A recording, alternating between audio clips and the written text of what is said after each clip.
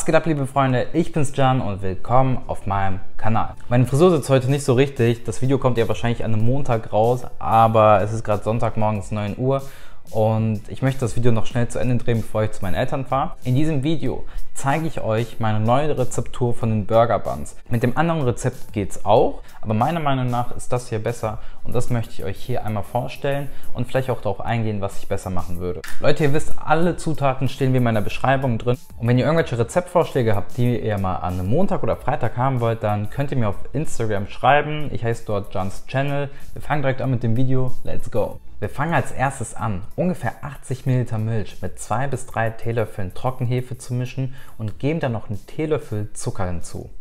Es ist halt das klassische Hefe-Wasser-Game, aber nicht mit Wasser, sondern mit Milch, weil wir etwas süßere Brötchen erzeugen wollen. Die sollen ja süß wie Honig und cremig wie Hautcreme werden. Dann nehmen wir unsere Schüssel mit 250 Gramm Mehl, formen dann eine Mulde rein und geben dann einen Teelöffel Salz, einen Esslöffel Zucker, ein Ei und unsere Hefemischung rein. Das Ganze decken wir dann sozusagen ab, wie wenn man sich früher am Strand irgendwie so eine Sandburg gebaut hat und lassen das dann für 10 Minuten ruhen. Nach ungefähr 10 Minuten nehmen wir uns einen Kochlöffel oder so ein Ding, was ich zum Beispiel hier von Tupper habe und fangen an, den Teig anzurühren. Ich würde den Teig halt immer erstmal ein bisschen anrühren, um die Konsistenz zu checken.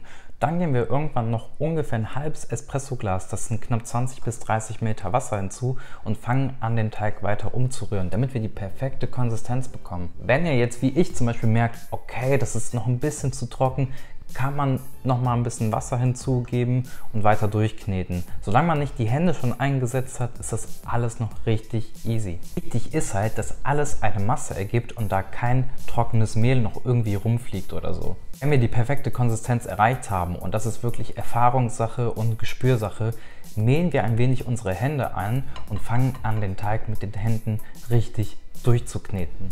Am besten erst ein wenig in der Schüssel kneten. Das mache ich, damit der Teig nicht direkt auf die Arbeitsfläche kommt und die ganze Arbeitsfläche klebt, sondern damit wir schon mal eine gute Basis haben. Wir können den Teig jetzt aus der Schüssel rausnehmen, unsere Arbeitsfläche schön einmehlen und den Teig dort weiterkneten. Dabei ist auch immer diese Bewegung, dieses runtergehen mit der vollen Kraft. Ich habe mir mal irgendwann die Schulter damit rausgekugelt. Ich merke es jetzt schon, dass irgendwas stimmt da nicht, aber trotzdem immer kräftig reingehen, Leute. Immer rein in die Masse wie eine Heineken-Flasche. Wie lange soll man den Teig eigentlich kneten? Mindestens 10 Minuten. Also je besser man den Teig knetet und nicht wirklich äh, Larifari, man soll wirklich so richtig reingehen mit der Masse. Das ist wirklich ein Armtraining auch und richtig kräftig durchkneten. Je kräftiger man den Teig durchknetet, desto weicher, glatter und besser wird der Teig am Ende. Teig habe ich jetzt ungefähr eine Stunde bei Zimmertemperatur gelagert. Ihr seht, er hat die doppelte Konsistenz bekommen, er sieht richtig gut aus. Im nächsten Step müssen wir unsere Arbeitsfläche schön einmähen. Also es sollte wirklich meiner Meinung nach kein Fleck offen sein, wo kein Mehl ist. Wir können den Teig auch richtig gut rausnehmen. Das liegt daran, dass ich die Schüssel vorher ein wenig eingeölt habe, bevor ich den Teig wieder reingetan habe. Dann fangen wir an, den Teig nochmal ganz wenig zu kneten und formen den dann zu einer runden Kugel, weil wir den jetzt in gleich große Stücke einteilen werden. Für dieses Backblech oder für diese Burger Buns habe ich zwei normale Burger gemacht und zwei etwas größere Burger Buns, weil ich mal so ein Experiment mit einem XXL Burger machen wollte. Die einen, die etwas größer sind, das sind circa 125 bis 150 Gramm Teigkugeln. Und wenn ihr einen ganz normalen Burger Bun haben wollt, für, zum Beispiel für einen Big Mac, für einen Crispy Chicken oder einen Royal TS, alle drei Videos könnt ihr abchecken, die sind richtig geil, sind in der Beschreibung drin sollte der Teigling, also die Kugel, ungefähr 100 Gramm haben. Das ist wirklich die perfekte Größe und ihr werdet am Ende auch sehen, wie die größeren Buns aussehen und wie die kleineren Buns aussehen. Wenn wir jetzt also uns so ein 100 Gramm Teigbällchen nehmen, dann kneten wir den nochmal ein bisschen durch mit der gleichen Technik, wie wir den Teig anfangs geknetet haben, rollen den zu einer runden Kugel, formen den unten so zusammen und haben unseren Teigling. Wenn wir die Teiglinge geformt haben, geben wir die auf ein Backblech drauf.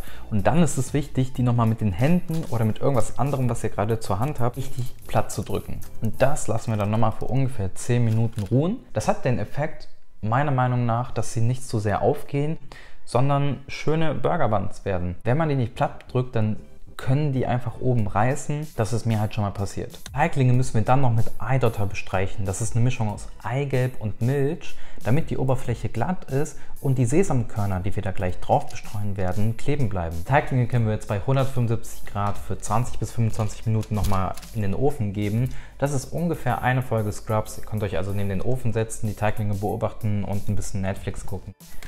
Wenn wir jetzt die Burgerbrötchen einmal aufschneiden, mir, mir, hat sogar einmal jemand in meinem TikTok geschrieben, warum zeigst du am Anfang, wie man sich Burger Buns macht und dann am Ende zeigst du gekaufte Burgerbrötchen. Leute, diese Burger Buns sind nicht gekauft. Zehner, wenn die gekauft sind, Mann, die habe ich halt einfach selber gemacht und die sind wirklich nicht so schwer.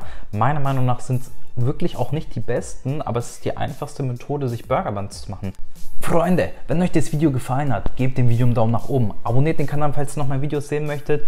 Und ich hoffe, ihr macht euch die heftigsten Burger Buns und damit auch die heftigsten Burger. Danke, dass ihr das Video gesehen habt. Bis zum nächsten Mal. Euer Jan, haut rein.